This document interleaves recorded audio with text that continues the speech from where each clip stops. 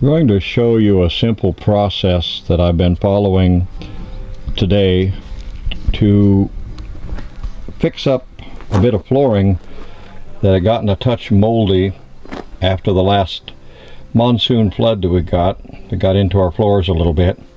What you see on the screen is a piece of three foot square rubber flooring except that on this edge it's been cut the cutaway on a smooth line there because that one goes up against a wall or tucked in under a wall actually.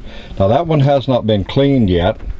I've already treated the flooring in the section that we're going to work with today in Pam's bedroom by applying a mixture of two parts bleach to one part water. Everyone talks about using a sprayer for that.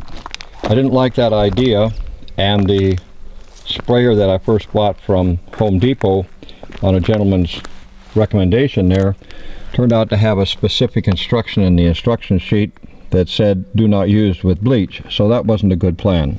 What we have under here this this pan this old stock pot is just upside down right now over oh it looks like the brush fell in there. I didn't mean for it to do that. Okay I'm applying it in the bleach water mix with a four inch paintbrush just a regular paintbrush. And I like it a lot better than a sprayer.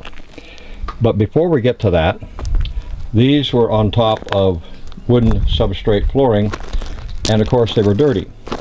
Now this is uh, I think from the looks of this this is the bottom side of this one.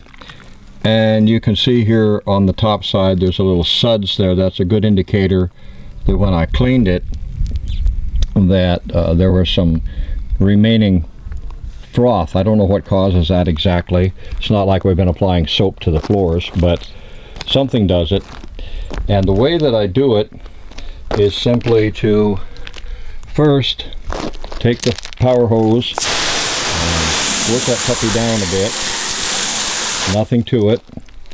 Then this big push broom that you see right here is left over in our storage shed from my days as an over-the-road trucker when we would use this to clean out the dry van 53 foot dry vans that I pulled after we had dropped off a load and we needed to make sure it was clean before we passed the trailer on to the next driver.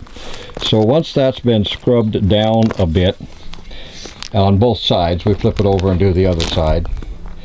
Then bring it over here. Now there's no, the distance between them is insignificant, it's not important except that I, I didn't have a piece of driveway that I liked until I got down here a little ways. We set up some wooden slats or skids under here just to keep them up off the dirt and the rocks and the grass a little bit so they could have some air under there. And you'll note that we have right now three of them here drying. Now what I have done is I've taken that brush and I've brushed on a coat a whole layer all over here very liberally of the bleach water mix and again two parts bleach to one part water is the way I do it and then flip it wearing gloves. Now I've got a beat up old pair of leather gloves or rubber might be better but the leather worked for me because I don't care what happens to those old gloves. And then just wait for it to dry in the sun. Unfortunately as I'm about to show you I started kind of late in the day and there's not a whole lot of sun. You see over there we have more more cloud than sun but it's still drying rapidly enough that once this has been now this one here was already dried on the other side and when I flipped it I don't know if the camera will show it but when I flipped it you could see that there was moisture hanging in on this side only where it had been sitting on top of the wood.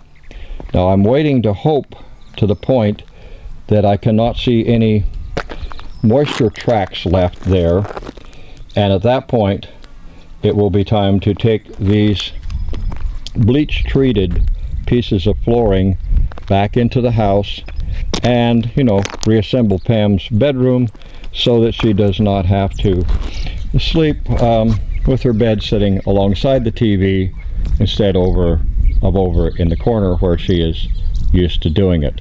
It's a very simple process. It's mildly time consuming, but being as I'm technically retired, time is not a major factor in this. And we've been told that nobody's able to detect a mold smell in our house the way we're doing it, so we must be doing something right.